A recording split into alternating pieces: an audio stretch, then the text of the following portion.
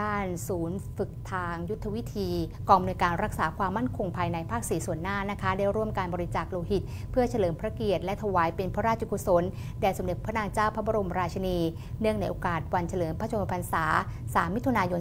2567 ค่ะ ที่หน่วยคลังเลือด และเวชศาสตร์บริการโลหิต โรงพยาบาล สงขลานครินศูนย์ฝึกทางยุทธวิธีกองอำนวยการรักษาความมั่นคงภายในภาค 4นำโดยพันเอกสมคิดคงแข็ง ผู้บังคับศูนย์ฝึกทางยุทธวิธีกองอำนวยการรักษาความมั่นคงภายในภาค 4 ส่วนหน้า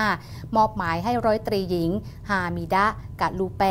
ผู้บังคับหน่วยทหารพรานหญิง สังกัดหน่วยเฉพาะกิจกรมฐานพรานที่ 41 นำนักเรียนหลักสูตรการฝึกฐานพรานหญิงจำนวน 30 คน ร่วมบริจาคโลหิตเพื่อเฉลิมพระเกียรติ และถวายเป็นพระราชกุศล แด่สมเด็จพระนางเจ้าพระบรมราชินี เนื่องในโอกาสวันเฉลิมพระชนมพรรษา 3 มิถุนายน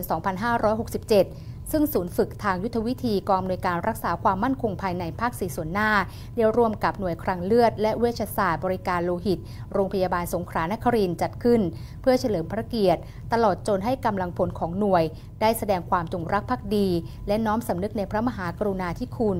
อีกทั้งทางหน่วยต้องการร่วมเป็นส่วนหนึ่งในการช่วยเหลือเพื่อนมนุษย์ด้วยกัน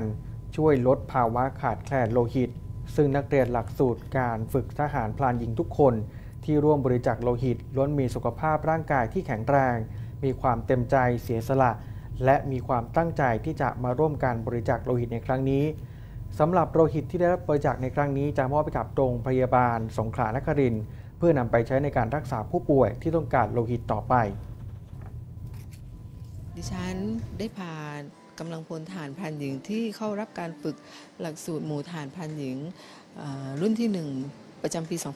2567 ที่เขารับการฝึกที่อยู่ศูนย์ฝึก ยุทธวิธีนาทวีนะคะน้องๆ ได้มีจิตศรัทธาที่จะมาร่วมบริจาคโลหิต เพื่อได้ต่อชีวิตให้เพื่อนมนุษย์ของเราด้วยกันที่ต้องการโลหิตที่มีความเดือดร้อนในด้านนี้เพื่อจะมาบริมาบริจาคค่ะ เพื่อเอเป็นแด่ให้กับ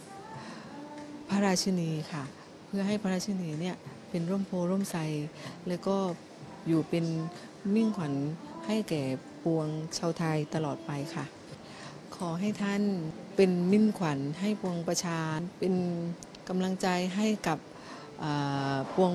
ชนชาวไทยสำหรับทหารพรานหญิงเรานะคะ มองว่าท่านเป็นผู้หญิงที่แกร่ง แล้วก็ถ้าพูดเหมือนภาษาทั่วไปตอนนี้คือท่านเป็นไอดอลของน้องๆนะคะ เพราะว่าท่านก็เป็นทหารด้วย